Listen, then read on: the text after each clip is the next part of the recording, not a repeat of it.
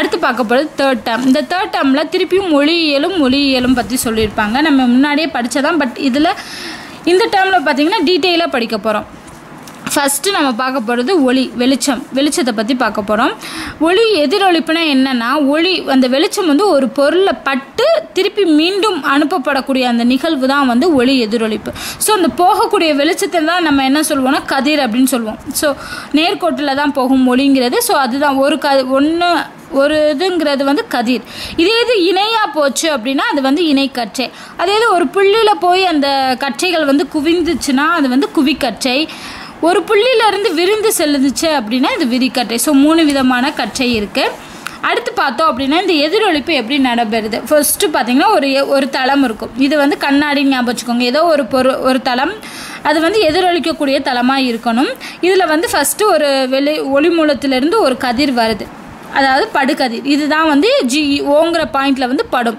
So அது படும் புள்ளி. அப்போ படுகதிர் வந்து ஓங்குற பாயிண்டில் வந்து படுது. பட்டு என்ன ஆகுதுன்னா எதிரொலிக்குது. அப்போ இது எதிரொலிப்பு கதிர். இந்த படுற அந்த பாயிண்ட்லேருந்து நம்ம ஒரு குத்துக்கோடு வரைகிறோம் செங்குத்தாக ஒரு குத்துக்கோடு வரைகிறோம் அப்போ குத்துக்கோடுலேருந்து படுகதிருக்கு இடையே உள்ள கோணம் ஐங்கிறது படுகோணம். அதே இது வந்து எதிரொலிப்பு கதிருக்கு உள்ள கோணம் வந்து ஆர் அது வந்து எதிரொலிப்பு கோணம். இப்போ இதுலேருந்து நம்ம என்ன தெரிஞ்சுக்கலாம் அப்படின்னா இந்த பட் படுகோணமும் இந்த எதிரொலிப்பு கோணமும் ஈக்குவலாக இருக்கும். எப்பயுமே சமமாக இருக்கும். அப்படி இருந்தால் தான் அது வந்து எதிரொலிக்குது அப்படின்னு அர்த்தம். எதிரொலிப்பு விதிகள் என்ன சொல்லுது அப்படின்னா படுகதிர். படுகதிர் எதிரொலிப்பு கதிர் குத்துக்கொடி இந்த மூணுமே ஒரே தளத்தில் அமையணும். ஓகேவா அது ஃபர்ஸ்ட் கண்டிஷன் செகண்ட் கண்டிஷன் என்னென்னா படுகோணமும் எதிரொலிப்பு கோணமும் ஈக்குவலாக இருக்கணும். இது ரெண்டு வந்து எதிரொலிப்பு விதிகள். இப்போ இதில் பார்த்தோம் அப்படின்னா இந்த எதிரொலிப்புலேயே இரண்டு வகைகள் இருக்குது ஒன்று வந்து ஒழுங்கான எதிரொலிப்பு இன்னொன்று ஒழுங்கற்ற எதிரொலிப்பு ஒழுங்கான எதிரொலிப்பு என்னென்னா பளபளப்பான சமதள பரப்பில் நடைபெறக்கூடியது ஒழுங்கான எதிர்ப்பு ஸோ படுகதிரும் விலகு கதிரும் வந்து ஒரே கோணத்தில் இருக்கும். மூணும் ஒரே தளத்தில் இருக்கும். ஆனால் ஒழுங்கற்ற எதிரொலிப்புங்கிறது சொரசொரப்பான பரப்பில் வந்து ஒழுங்கற்ற எதிரொலிப்பு நடைபெறும். அதாவது வெவ்வேறு கோணங்கள் திசைகள் இருக்கும். இந்த மாதிரி ஒழுங்கற்ற பரப்பில் ஏற்படுறது. ஸோ இது வந்து ரெண்டு வகைகள். அடுத்து பார்க்க போகிறது பன்முக எதிரொலிப்பு. பன்முக எதிரொலிப்புனா என்னென்னா நிறைய எதிரொலிப்புகள் நடைபெறுறது. அது அது என்னென்னா ஒரு ஒன்றுக்கு மேற்பட்ட சமதள ஆடியை வந்து நம்ம ஒரு குறிப்பிட்ட கோணத்தில் அமைச்சோம் அப்படின்னா நமக்கு அதிக அளவில் வந்து பிம்பம் தோன்றும். ஒரே பிம்பம் வந்து பல முறை வந்து தோன்றும். நம்ம ஒரு ஆள் நின்றோம்னா பத்து பேர் பதினஞ்சு பேர் நிற்கிற மாதிரி தோன்றும். அதுக்கு என்ன காரணம் அப்படின்னா அந்த பன்முக எதிரொலிப்பு தான். ஆல்ரெடி பட்டு திருப்பி வந்து இன்னொரு கண்ணாடியில் பட்டு எதிரொலிக்கப்படும். அந்த மாதிரி. ஸோ இதுக்கு வந்து ஒன்றுக்கும் மேற்பட்ட சமதள ஆடிகளை வந்து நம்ம தகுந்த கோணத்தில் அமைக்கணும். இப்போ வந்து நம்ம அந்த கோணத்தில் அமைக்கிறோம் இல்லையா? அந்த கோணத்தை பொறுத்து எத்தனை பிம்பங்களோட எண்ணிக்கை உருவாகுங்கிறத நம்ம சொல்லிடலாம். இப்போ வந்து அதுக்கு ஃபார்முலா என்னென்னா பிம்பங்களின் எண்ணிக்கை is equal to three sixty divided by கோணம் மைனஸ் ஒன்று இது எது நான் இப்போ சிக்ஸ்டி டிகிரின்னு வச்சுக்கிறேன். ஓகேவா நான் சிக்ஸ்டி டிகிரியில் அந்த சமதள ஆடியை அமைக்கிறேன்னா three sixty divided by sixty minus one six six minus one five so எனக்கு எத்தனை பிம்பங்கள் வே தெரியும் அப்படின்னா ஐந்து பிம்பங்களை வந்து நான் உண்டு பண்ணலாம். சிக்ஸ்டி டிகிரி கோணத்தில் நான் வந்து அந்த சமதள ஆடையை அமைச்சேன் அப்படின்னா இந்த- இந்த அஞ்சு எண்ணிக்கையில் எனக்கு வந்து பிம்பங்கள் வந்து தெரியும். ஸோ இதுதான். பிம்பங்களின் எண்ணிக்கை கண்டுபிடிக்கணும்னா த்ரீ சிக்ஸ்டி டிவைடட் பை அந்த எந்த கோணத்தில் நம்ம அமைக்கிறோம் அப்படிங்கிறத போட்டு மைனஸ் ஒன் இதான் ஃபார்முலா ஸோ இது கொடுத்தாங்கன்னா ஈஸியாக கண்டுபிடிச்சிடலாம். அடுத்து பார்த்தோம் அப்படின்னா இந்த கண்ணாடியை ஒன்றுக்கொன்று இணையாக வைத்தால் அதிக எண்ணிக்கையில் பிம்பம் தோன்றும்.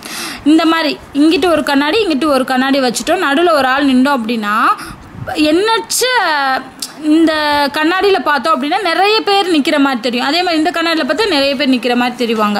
ஸோ எண்ணற்ற எண்ணிக்கையில் நமக்கு பிம்பம் தெரியும். அதுக்கு காரணம் கண்ணாடியை நம்ம ஒன்றுக்கு ஒன்று இணையாக வைக்கிறதுக்கு. இந்த பன்முக எதிரொலிப்பு வந்து எந்த கருவிகளில் யூஸ் ஆகுது அப்படின்னா பெரிஸ்கோப் கலைடாஸ்கோப். நம்ம இப்போ கலைடாஸ்கோப்லாம் பார்த்துருப்போம் இல்லையா? அந்த பெரிஸ்கோப் கலைடாஸ்கோப்பில் பார்த்தீங்கன்னா இந்த பன்முக எதிரொலிப்பு தான் தத்துவம் தான் நடைபெறுது. அதாவது இந்த சைடுலேருந்து நம்ம பார்க்கும்போது இங்கே வந்து ஃபார்ட்டி ஃபைவ் டிகிரி இங்கே ஃபார்ட்டி ஃபைவ் டிகிரியில் நம்ம ஒரு சமதள ஆடியை இங்கே ஃபிக்ஸ் பண்ணியிருப்போம் ஸோ இங்கேருந்து பார்க்கும்போது என்ன ஆகும் அப்படின்னா இங்கே இருக்கக்கூடிய பிம்பத்தோட ஒளி வந்து இங்கே பட்டு எதிரொலித்து திருப்பி எதிரொலிக்கப்பட்டு நம்ம கண்களுக்கு தெரியும். ஸோ இதுதான் வந்து கலைடாஸ்கோப்பில் வந்து பார்க்கக்கூடியது. இந்த பெரிஸ்கோப்பில் பார்த்தீங்க அப்படின்னா இரு சமதள ஆடிகளால் தொடர்ந்து எதிரொலிப்பு அடைவதே இதோட தத்துவம். ஸோ பெரிஸ்கோப்பில் என்ன நடக்குது அப்படின்னா ரெண்டு சமதள ஆடிகள் தொடர்ந்து எதிரொலிச்சுக்கிட்டே இருக்கும். அதுதான் வந்து இந்த பெரிஸ்கோப்பில் நடைபெறுது. இதுதான் வந்து பன்முக எதிரொலிப்பு. அடுத்து ஒளி விலகல். எப்படி வந்து ஒளி விலகல் நடைபெறுது அப்படிங்கிறத பார்க்க போகிறோம் ஒளி வந்து ஒரு ஊடகத்திலிருந்து மற்றொரு ஊடகத்திற்கு செல்லும்போது தன்னோட நேர்கோட்டு பாதையை விட்டு விலகி செல்லக்கூடிய நிகழ்வு தான் வந்து ஒளி விலகல். ஓகேவா அதுதான் வந்து ஒளி விலகல். இது வந்து அந்த பொருளோட அடர்த்தியை பொறுத்து அமையும். இப்போ நம்ம ரெண்டு அடர்த்தி வெவ்வேறு விதமான அடர்த்தி உள்ள ஒரு பொ ரெண்டு பொருளை எடுத்துக்கிறோம். அதாவது அடர்த்தி குறைந்த ஊடகம் இது அடர் மிகு ஊடகம். அடர்த்தி குறைந்த அப்படின்னா காற்று எடுத்துக்கலாம். அடர் மிகுங்கிறனா கண்ணாடி எடுத்துக்கலாம். ஸோ காற்றுலேருந்து கண்ணாடியில் எப்படி போகுது? ஸோ ஃபஸ்ட்டு என்னாகுதுன்னா காற்றுலேருந்து வரக்கூடிய ஒளி. என்ன ஆகுது அப்படின்னா இந்த குத்துக்கோடு இருக்கு இல்லையா? இந்த செங்குத்து கோடு இந்த செங்குத்து கோடுக்கு ஜஸ்ட் பேரலாக ரொம்ப பேரலான்னு சொல்ல முடியாது. ஜஸ்ட் அதை ஒத்து போகுது இல்லையா? இந்த மாதிரி போகும். ஏன்னா இது அடர்வு மிகுந்த ஊடகத்துக்கு போகிறதுனால ஸோ இது வந்து படுகோணம் இது வந்து எதிரொலிப்பு கோணம். அப்போ என்ன ஆகுது அப்படின்னா அடர்வு குறைந்த ஊடகத்துலேருந்து அடர்வு மிகுந்த ஊடகத்திற்கு போகும்போது அந்த ஒளிக்கதிர் வந்து செங்குத்து கோட்டை நோக்கி செல்லுது. ஓகேவா செங்குத்து கோடை நோக்கி செல்றதுனால இது இந்த மாதிரி செல்லும். இது வந்து காற்று டு கண்ணாடியில் போகும்போது. அதே இது கண்ணாடி டு காற்று. அப்படின்னா என்னாகும்? கீழே வந்து அடர்வு மிகு ஊடகம் மேலே வந்து அடர்வு குறைவு ஊடகம். அப்படி போகும்போது என்ன ஆகுனா இந்த குத்துக்கோட்டை விட்டு விலகி செல்லுது. ஸோ இதுதான் வந்து ரெண்டு எப்படி வந்து ஒளி விலகல் வந்து வெவ்வேறு ஊடகங்களில் நடைபெறுது அப்படிங்கிறத பார்க்குறோம். இந்த ஒளி விலகல் வந்து எங்கெங்கெல்லாம் நடைபெறும்னு பார்த்தீங்கன்னா இப்போ நம்ம ஏதாவது ஒரு பக்கெட்டில் தண்ணி வச்சுருக்கோம். அதில் ஒரு ஏதோ ஒரு பழத்தை போட்டோம் அப்படின்னா அந்த பழத்தோட ஆக்சுவல் சைஸில் இருந்து அது வந்து பெருசாக தெரியும். அதுக்கு காரணம் இந்த ஒளி விலகல் தான். அதே மாதிரி பென்சிலை விட்டோம் பென்சிலை இல்லை ஒரு குச்சியை விட்டோம்னா அது கொஞ்சம் வளைஞ்ச மாதிரி இருக்கும். அது எல்லாமே ஒளி விலகல்னால வர்றது. அப்புறம் எழுத்துக்கள் மீது நம்ம பூத கண்ணாடியை வச்சு பார்த்தோம்னா பெருசு பெருசாக தெரிகிறது. நீச்சல் குளத்தில் பார்த்தீங்கன்னா மேலேருந்து பார்த்தோம்னா ஆழம் கம்மியாக இருக்கிற மாதிரி இருக்கும். ஆனால் நிஜத்தில் அது வந்து ஆழமான நீச்சல் குளமாக இருக்கலாம். ஸோ இது எல்லாமே வந்து ஒளி விலகல்னால நடைபெறக்கூடிய செயல்கள் தான். அடுத்து பார்க்க போகிறது முழு அக எதிரொலிப்பு. முழு அக எதிரொலிப்பு என்ன ஆகும்னா ஒரு ஒளிக்கதிர் வந்து அடர்வு மிகுந்த ஊடகத்திலிருந்து அடர்வு குறைந்த ஊடகத்திற்கு செல்லும் போது அந்த குத் அந்த கதிர் இருக்கு இல்லையா அந்த கதிர் வந்து குத்துக்கோட்டை விட்டு விலகி செல்லும். நம்ம அங்கே பார்த்தோம் இல்லையா அடர்வு மிகுந்த ஊடகத்திலேருந்து அடர்வு குறைந்த அதாவது கண்ணாடியிலேருந்து காற்றுக்கு போகும்போது என்ன ஆகும்னா அந்த கொத்தை விட்டு விலக்கி போகும் அப்படின்னு பார்த்தா இந்த முழு அக எதிரொலிப்புலையும் அதே இதுதான். ஆனால் இங்கே என்னென்னா நம்ம படக்கூடிய கோணம் இருக்கு இல்லையா அந்த ஐ வந்து அதிகரிக்க அதிகரிக்க இங்கே விலகு கோணமும் அதிகரிக்கும். ஸோ இதை நீ எவ்வளோ தூரத்துக்கு அதிகரிக்கிறியோ அதே அளவு இதுவும் என்னாகும் விலகி செல்லிக்கிட்டே இருக்கும். அடுத்து வந்து ஒரு குறிப்பிட்ட கோணத்தில் இந்த ஐயை வந்து நீ ஒரு குறிப்பிட்ட கோணத்தில் வைக்கும்போது இந்த ஆறுங்கிற விலகு கோணம் என்ன ஆகும் அப்படின்னா 90 டிகிரிக்கு வந்துடும் அப்படின்னா என்ன அர்த்தம்? இந்த கோட்டிலே வந்துடும் அதுதான் இது. ஸோ நம்ம ஐயை வந்து ஒரு குறிப்பிட்ட இடத்துல வைக்கும்போது அது வந்து என்ன ஆயிடுது அப்படின்னா விலகு கோணம் வந்து விலகு கோணம் வந்து 90 டிகிரியில் வந்துடுது அப்போ என்ன ஆகுதுன்னா அந்த எக்ஸ் எக்ஸ் அச்சுலேயே வந்து அந்த எதிரொலிப்பு கதிர் போகுது அப்படின்னு அர்த்தம்.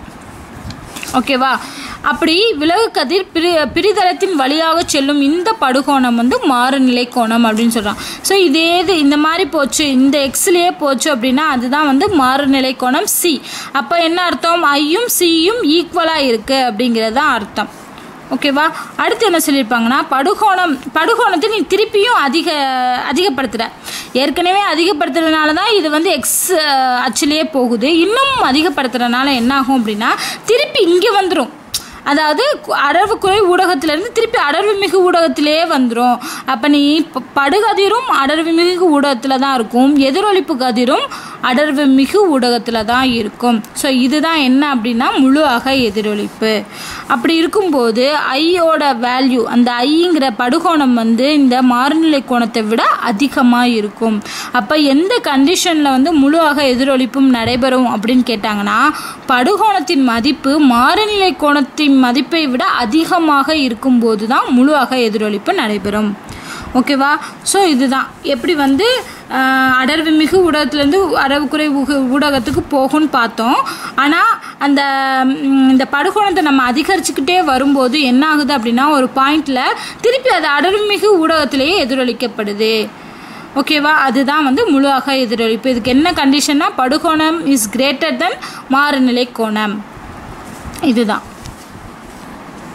இது இது ஏற்பட நி- நிபந்தனைகள் என்னன்னா முழு எதிரொலிப்பு ஏற்படுவதற்கான நிபந்தனை ரெண்டு. ஒன்று அடர்வு மிகு ஊடகத்திலிருந்து அடர்வு குறை ஊடகத்திற்கு ஒளிக்கதிர் போகணும் அப்புறம் படுகோணம் இஸ் கிரேட்டர் தென் மாறுநிலை கோணமாக இருக்கணும். ஸோ இந்த ரெண்டு கண்டிஷன் தான். அடுத்து பார்க்க போகிறது கண். கண்ணில் வந்து நம்ம எப்படி வந்து ஒரு பொருளை பார்க்குறோம் அப்படிங்கிறத பற்றி தான் பார்க்க போகிறோம் ஸோ அதுக்கு முன்னாடி வந்து கண்ணோட வரைபடத்தில் பாருங்கள் இங்கே சென்டரில் பார்த்தோன்னா விழி லென்ஸ் இருக்கும். அதை சுற்றி விழி சிலியரி தசைகள் இருக்கும். அடுத்து இதில் விழித்திரை வந்து பின்னாடி இருக்கக்கூடியதான் விழித்திரை. இங்கே பார்வை நரம்புகள் போகும். ஓகேவா இந்த வில் விழி லென்ஸ் இந்த லென்ஸ் தான் வந்து பொருளோட பிம்பத்தை வந்து விழுத்திரையில் விழுமாறு செய்யும். ஸோ இந்த லென்ஸ் தான் என்ன பண்ணுன்னா பொருளோட பிம்பத்தை ஃபோக்கஸ் பண்ணி அதை விழுத்திரையில் விழுமாறு செய்யும். ஸோ விழுத்திரையில் என்ன இருக்கும்? பார்வை நரம்புகள்லாம் சூழ்ந்திருக்கும். ஓகேவா இந்த பார்வை நரம்புகள் மூலமாக அந்த பிம்பம் வந்து எங்கே போகும்? மூளைக்கு போகும். ஓகேவா அப்போ தான் நம்ம உணர முடியும். இது பார்க்குறது வந்து இந்த பொருட்கள் அப்படிங்கிறத வந்து நம்ம மூளை வந்து உணரும். ஸோ இந்த விலினன்ஸ் வந்து பார்த்தோம் அப்படின்னா ஒவ்வொரு டிஸ்டன்ஸ்க்கு ஏற்ற மாதிரியும் தன்னோட குவிய தூரத்தை மாற்றும். நம்ம எப்படி கேமரா மாற்றுது இல்லையா? அது மாதிரி தன்னை ஒவ்வொரு குறிப்பிட்ட டிஸ்டன்ஸ்க்கு ஏற்ற மாதிரி குவிய தூரத்தை மாற்றும். இந்த சிலியரி தசைகள் இருக்கு இல்லையா? விலிலன்ஸை சுற்றி இருக்கக்கூடிய இந்த சிலியரி தசைகள் வந்து சுருங்கும் விரியும்.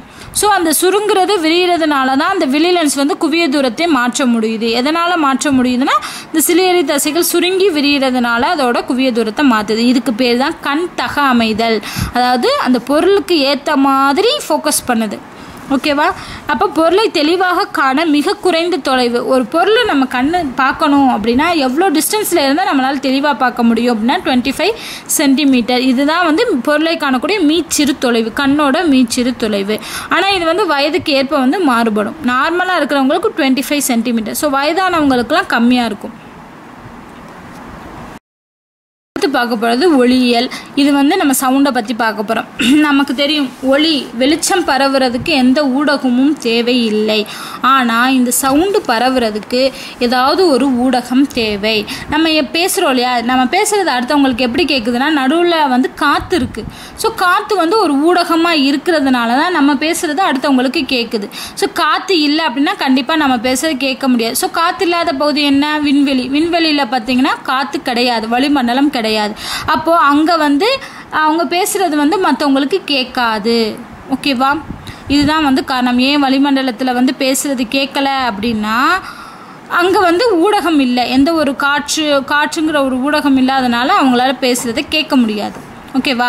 ஸோ அதுதான். வெற்றிடத்தில் பரவாது. வெற்றிடத்தில் பரவாது. அதுக்கு ஏதாவது ஒரு ஊடகம் வேணும். காற்றோ இல்லை வேறு ஏதோ வந்து ஊடகம் இருந்தால் மட்டும்தான் அதால் பேச முடியும். நம்ம பேசுகிறது கேட்க முடியும் அடுத்தவங்களால். அந்த ஊடகம்ங்கிறது என்னென்னா திட திரவ வாயுக்கள். ஸோ திடப்பொருளாக இருக்கலாம் வாயுவாக இருக்கலாம் திரவமாக இருக்கலாம். ஸோ இதுதான் வந்து ஊடகம் அப்படிங்கிறது. இப்போ நம்ம எப்படி நம்ம கே பேசுகிறது எப்படி நமக்கு கேட்குது அப்படின்னா நம்ம பேசும்போது இந்த நுரையீரல நுரையீரல்ல இருந்து வரக்கூடிய காற்று வந்து குரல் வலையில் உள்ள இடைவெளிகளுக்கு சென்று அந்த குரல் நாண்கள் இருக்கு இல்லையா? நம்ம தொண்டையில் இருக்கக்கூடிய குரல் நாண்களை அதிர்வடைய செய்யுமா? அந்த அதிர்வுக்கு ஏற்ற மாதிரி தான் அந்த நம்ம ஒவ்வொரு வார்த்தையும் சில வார்த்தைகள் சவுண்டாகவும் சில வார்த்தைகள் மெதுவாகவும் கேட்குது இல்லையா? அது வந்து அந்த அதிர்வை பொறுத்து தான் அமையும். இப்படி தான் நம்ம பேசுகிறது வந்து சவுண்டாக நமக்கு வெளியே வருது. இந்த ஆண்களோட குரல் நாண்களின் நீளம் பார்த்தீங்கன்னா டுவெண்ட்டி மில்லிமீட்டர் பெண்களுக்கு பதினைந்து மில்லிமீட்டராக இருக்கும். குழந்தைகளுக்கு ரொம்ப சிறுசாக இருக்கும். அடுத்து பார்க்க போகிறது செவி. எப்படி நம்ம பேசுகிறோம் அதே மாதிரி நம்ம கேட்குறோம் இல்லையா? அது எப்படி கேட்குறோம் அப்படின்னா இந்த செவி மூலயமா. இதில் மூன்று பாகங்கள் இருக்குது வெளிப்புற செவிங்கிறது நம்ம கண்ணால் பார்க்கக்கூடிய பகுதி வெளிப்புற செவி. நடுச்செவிங்கிறது வந்து வெளிப்புற செவிக்கும் உள்செவிக்கும் இடையில இருக்க பகுதி. உள்செவிங்கிறது உள்ளே இருக்கிறது. ஸோ மூன்று பகுதிகள் இருக்குது இந்த வெளிப்புற செவியில் பார்த்தோன்னா மெல்லிய மடல்களும் செவிக்குழாய்களும் இருக்கும். இந்த ஒளி வந்து செவிக்குள்ளே சென்று செவிப்பறையை அடையுது. இந்த பகுதியில் தான் வெளிப்புற செவியில் தான். இந்த செவிப்பறை அப்படிங்கிறது வந்து ஒரு மெல்லிய ஜவ்வு போன்ற அமைப்பாக இருக்கும்.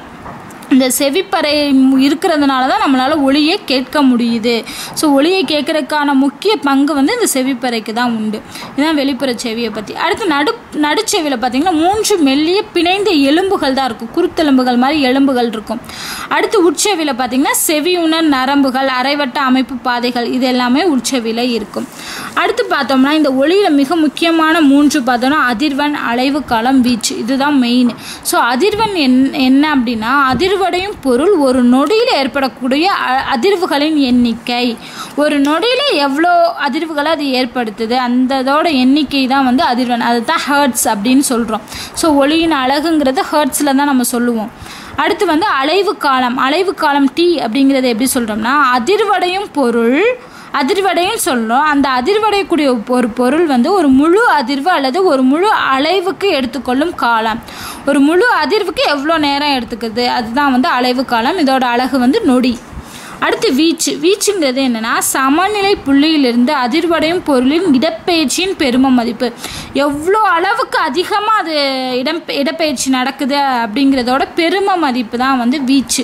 இதோட அழகு வந்து மீட்டர். ஸோ அலைவு காலத்துக்கும் அதிர்வனுக்கும் என்ன வந்து விதி- என்ன ரிலேஷன்ஷிப் பார்த்தோம் அப்படின்னா அலைவு காலம் என்பது ஒன் பை அதிர்வியன் அதாவது டி இஸ் ஈக்குவல் டு எதிர்மாறிலி.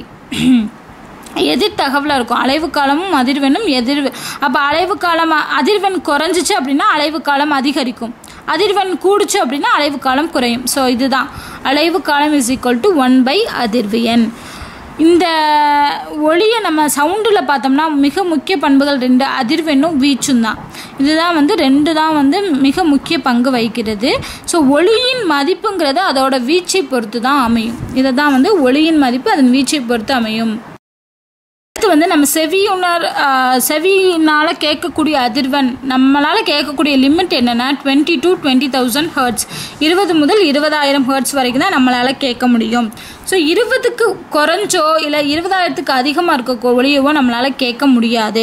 இருபதுக்கு குறைஞ்சி இருபது ஹர்ட்ஸுக்கும் குறைஞ்சிருக்க ஒளியை வந்து குற்றொலி என்றும் இருபதாயிரம் ஹர்ட்ஸுக்கு அதிகமாக இருக்கக்கூடியது வந்து மீயொலி என்றும் அப்படின்னு சொல்கிறாங்க இது ரெண்டுமே நம்மளால் செவி உணர முடியாது. ஓகேவா இந்த மீயொலி பார்த்தீங்கன்னா வௌவால் இதெல்லாம் வந்து மீயொலியை வச்சு தான் வந்து ஐடென்டிஃபை பண்ணும். அதே மாதிரி குற்றொலியை உணரக்கூடியது வந்து யானை இதெல்லாம் வந்து குற்றொலியை உணரக்கூடியது. அடுத்து பார்த்தோம் அப்படின்னா கண்ணாடி ஒளி இலை. கண்ணாடி ஒளினா ஆப்டிக்கல் ஃபைபர்ஸ் அப்படின்னு சொல்லுவாங்க. இதுவும் வந்து மிக முக்கிய பங்கு வகிக்கிறது.